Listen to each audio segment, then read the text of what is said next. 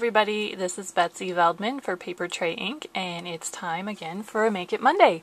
I am up with you this week, and I'm going to share an idea for using um, some of your sentiment stamps to create uh, reflected sentiments. Just kind of another fun thing to do with your stamps and your inks. So, alright, let's get started. Alright, I'm going to be using sentiments from the new Peace, Love, and Joy stamp set um, and also a sheet of acetate. Um, you can use the sheets that your stamps come on, or you could use um, some of Papertrey's Clearly Creative cardstock, or just anything you have laying around in your stash. Um, it's not going to actually be used on your project, so just a scrap will do it.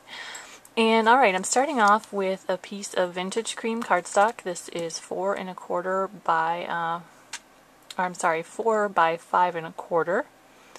I'm going to start off with the Wishing You uh, sentiment from, um, from this set, and I'm going to just stamp that in True Black ink, uh, kind of up near the top edge.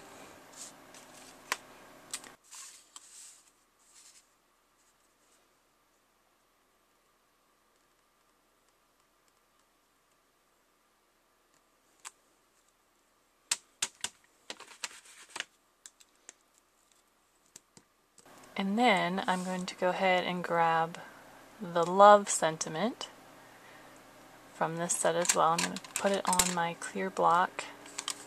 It's the only way I can stamp straight. And I'm going to get my Pure Poppy ink. And this first time around, I'm just going to stamp it onto my project, onto my cardstock here, just like, just like always. And then I'm going to take my sheet of acetate and I'm going to ink my stamp again, again using Pure Poppy, and I'm going to stamp it onto that acetate sheet. And then I'm going to take that and putting the inked side down onto my cardstock, I'm going to line up the bottom edges of the letters and then just rub over the top to transfer the ink from the acetate onto my project. And then once I've done that, I'm going to use this sheet again for my next sentiment. So I'm going to wipe off that extra ink with a dry paper towel. I don't want to get it on my project um, when I do my next sentiment. So just wipe that off.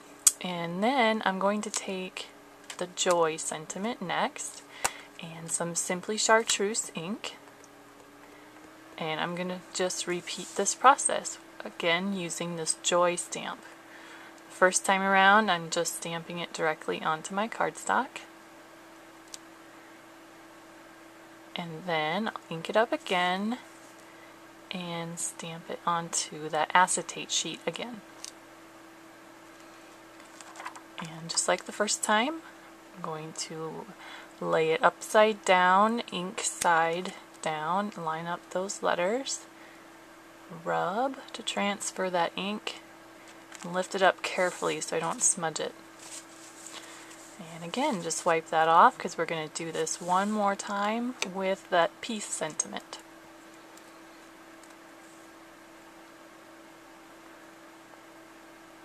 Now this technique, it's very simple, really not a lot to it, but it's one of those things that you kind of can make your friends go, oh, that's cool, how did you do that?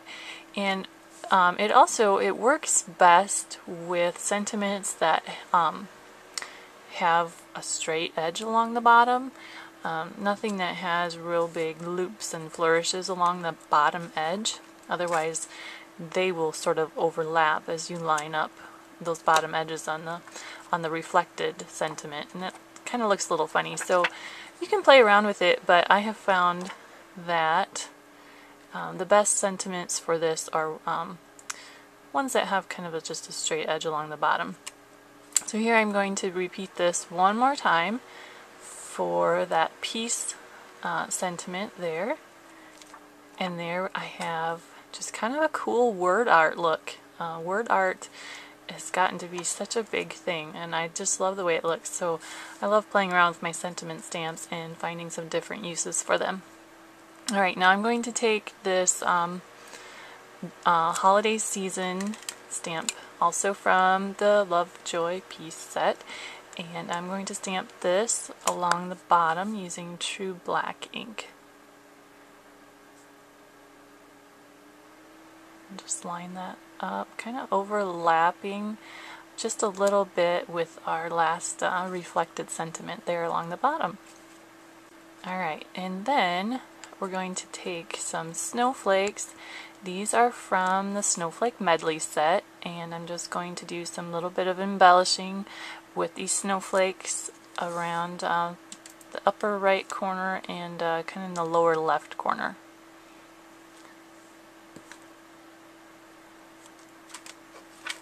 I'm going to take another smaller snowflake and stamp that right here with Simply Chartreuse.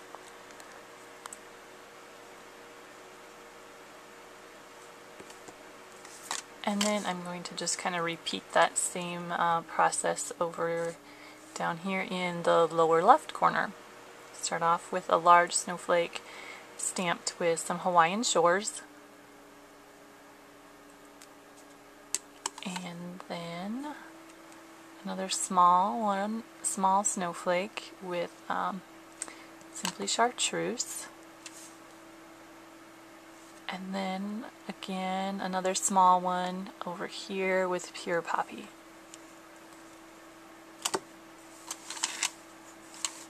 Alright, and that is all there is to the stamping portion of the card.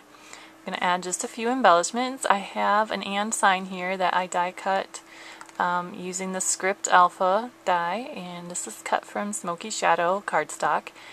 And I'm just going to use some of my liquid glue and adhere that, nestle that kind of right in between those words there, in that space, uh, space right there, where joy is a little bit shorter word. It's a perfect place for that. Then I have a strip of some pattern paper. This is just a stripe from um, I think this is a basic gray pattern paper. And I'm just going to adhere that along the bottom. It's just a quarter inch wide strip, quarter inch by four inch.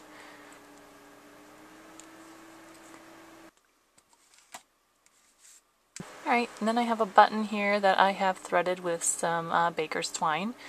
And I'm just going to adhere that along that paper strip for just a fun little accent.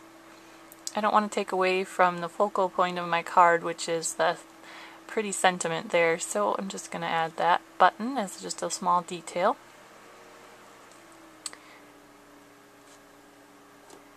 And then I'm going to grab my corner rounder and just round the right hand corners. And then I'm going to adhere this to a card base. This is a four and a quarter by five and a half inch card base. It's craft cardstock.